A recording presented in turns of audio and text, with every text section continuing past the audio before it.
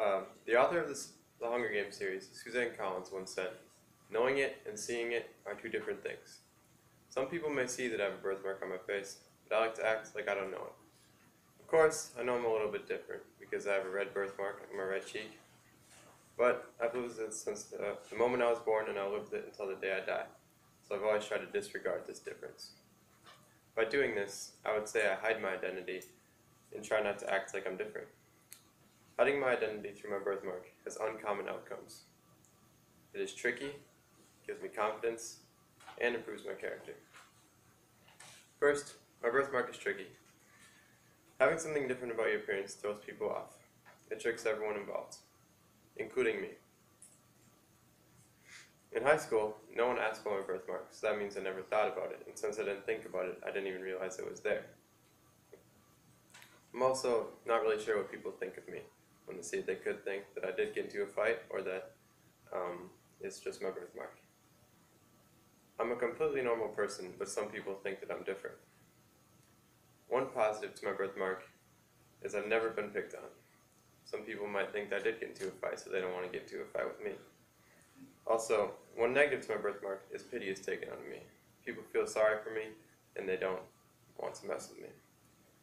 The tricks my birthmark throws at me gives me a weird sense of confidence.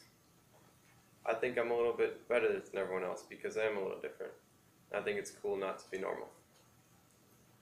My birthmark also makes me feel invincible. I use it to my advantage. I think I'm a tough guy with a battle scar. I'm not afraid to have any other facial blemishes, blemishes as well. Having confidence from my birthmark also improves my character. Birthmark is largely hidden to me, but I still know it's there, so I just use it as a benefit to my character. Hiding my identity to myself does not affect my appearance to everybody else. Because of this, I must be like ignorant to my birthmark and try to fit in with all crowds of people and not and make them dig deeper instead of looks. Um, I also largely don't care how people um, think of how people see me because it is just a birthmark and it's not really a big deal at all. Expecting people to look past my own appearance also makes me do the same for others. I'm accepting and I don't judge, and I expect others to do the same with me. Everyone has an identity, but sometimes you must have to first break what you think it is to find what it really is. I have my own identity, it's just always hidden.